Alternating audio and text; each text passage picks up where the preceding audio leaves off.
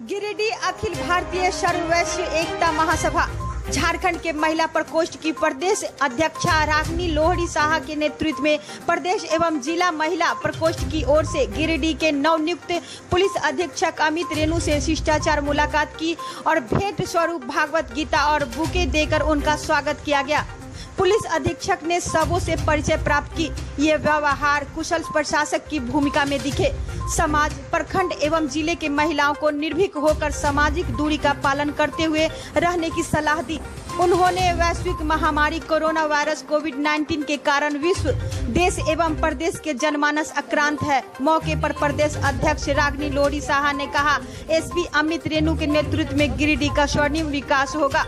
Anchor Pinky Singh के साथ news crime twenty समस्याओं से भी रूबरू कराएँ और उनके साथ कार्य करने का हम लोगों को मौका मिले, ऐसा उन्होंने हमें कहा और बहुत अच्छे स्वभाव के व्यक्ति हैं।